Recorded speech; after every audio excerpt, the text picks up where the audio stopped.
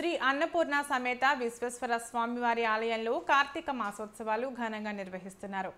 ఉత్సవాలు ఆఖరి సోమవారం కావడంతో పెద్ద సంఖ్యలో భక్తులు తరలివచ్చి స్వామివారిని దర్శించుకుని పూజలు చేశారు. కాకినాడ రామారావుపేటలో వేంచేసి ఉన్న శ్రీ అన్నపూర్ణ సమేత విశ్వేశ్వర స్వామివారి ఆలయంలో కార్తీక మాసోత్సవాలు ఘనంగా నిర్వహిస్తున్నారు. ఉత్సవాలను పురస్కరించుకుని ఆలయంలో స్వామివారికి పంచామృతాభిషేకాలు విశేష పూజలు శాస్త్రోక్తంగా జరిపిస్తున్నారు. కార్తీక మాసం ఆఖరి సోమవారం పురస్కరించుకుని తెల్లవారుజాము నుంచి అశేషంగా భక్తులు తరలివచ్చి స్వామివారిని దర్శించుకుని పూజలు చేశారు. ఆలయ ప్రధాన అర్చకులు శర్మ వేద పండితుల మంత్రోచ్చారణల నడుమ పంచామృతాభిషేకాలు విశేష పూజలు శాస్త్రోక్తంగా జరిపించారు. పూజల్లో పాల్గొన్న భక్తులు భక్తి శ్రద్ధలతో పూజలు చేశారు. ప్రతి వారం ఆలయానికి నూతన శోభను తీసుకువచ్చేందుకు ఆలయ కమిటీ కృషి చేస్తోందని అందులో భాగంగా భారతదేశంలోని పవిత్ర పుణ్యక్షేత్రాలు ద్వాదశ జ్యోతిర్లింగాల నమూనా శివలింగాలను ఆలయంలో ఏర్పాటు చేశారు. ఆలయంలో ఏర్పాటు చేసిన శివలింగాలను దర్శించుకునేందుకు భక్తులు బారులు తీరారు. కార్తీక మాసం పురస్కరించుకుని ఆలయం బయట ఆరడుగుల భారీ ఏకశిలా శివలింగాన్ని ఏర్పాటు చేయడంతో భక్తులు వారి స్వహస్తాలతో స్వామివారిని స్వయంగా అభిషేకించుకున్నారు. ఆలయానికి విచ్చేసే భక్తులకు సుబ్బయ్య హోటల్ అధినేత గునుపుడి గుప్తా వారి కుటుంబ సభ్యులు అందించిన పులిహోర ప్రసాదం పంపిణీ చేశారు.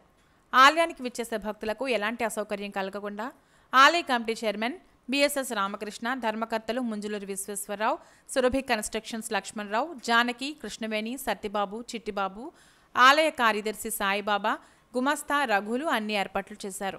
ఈ సందర్భంగా ఆలయ చైర్మన్ బిఎస్ఎస్ రామకృష్ణ మాట్లాడుతూ డిసెంబర్ నాలుగవ తేదీన దీపోత్సవ కార్యక్రమాన్ని నిర్వహిస్తున్నట్లు వెల్లడించారు.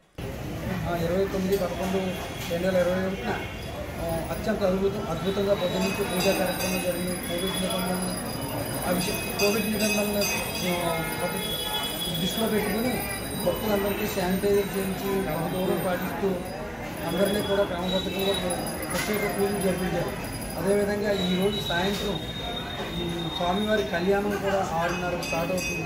కావున కావున తామెల్లరూ ఇచ్చేది ఒక కార్యక్రమం ఏర్పాటు చేసి అదేవిధంగా రేపు నాలుగో తారీఖున ఆఖరి కార్తీక మాసం ఆఖరి రోజున శనివారం లక్ష దీపోత్సవం కూడా జరుగుతుంది. అత్యంత అద్భుతంగా కళాకాంతులతో కాంతులతో విద్యుత్ దీపాల మధ్య జరుగుతుంది. అదేవిధంగా శని ఆదివారం నాడు ఉమ్, దీపాలు కావున తామందరూ దృష్టికి ఇచ్చేసి కార్యక్రమం చేసుకోవడం జరుగుతుంది అదేవిధంగా ఈ కార్యక్రమానికి మరి ఈ నెల రోజులు కూడా మా ఎమ్మెల్యే గారు ద్వారంపూడి చంద్రశేఖర్ రెడ్డి గారు అదేవిధంగా కర్నూలు రెడ్డి గారు చంద్రబాబు గారు డికే రెడ్డి గారు అదేవిధంగా మా ఈఓ గారు అదే మా కమిటీ సభ్యులు అర్చకులు అందరూ కూడా ఎంతో శ్రమించి ఈ యొక్క కార్యక్రమం జయప్రదం చేసి ఆంధ్రప్రదేశ్లో కష్టపడి యొక్క కార్యక్రమాన్ని చక్కగా జరిపిన అందరికీ కూడా కృతజ్ఞతలు ఈ కార్యక్రమంలో వైసీపీ నాయకుడు కర్రి వీర్రెడ్డి నగర ప్రముఖులు చిక్కాల దొరబాబు దంపతులు సుబ్బయ్య హోటల్ అధినేత గునుపుడి గుప్తా